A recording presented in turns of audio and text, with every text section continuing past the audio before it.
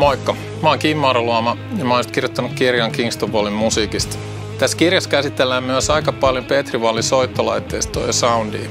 Ja tänään mä ajattelin esitellä teille tarkemmin, mistä Petri Wallin soundissa on kyse. Samalla kun me käydään Petri Wallin soundia läpi, mä avaan myös hieman mun filosofiaa sähkökitaran signaalitiestä niin, että jokainen teistä voi perehtyäkin omaan kitarasoundiinsa hieman uudella lailla. Jos sä haluat parantaa sun omaa kitarasoundia, tai oppia vähän paremmin tietämään, miten Petri Valli sai soundissa aikaan. Tsekkaa mun kurssi Rockwellta. Mä takaan, että et sä.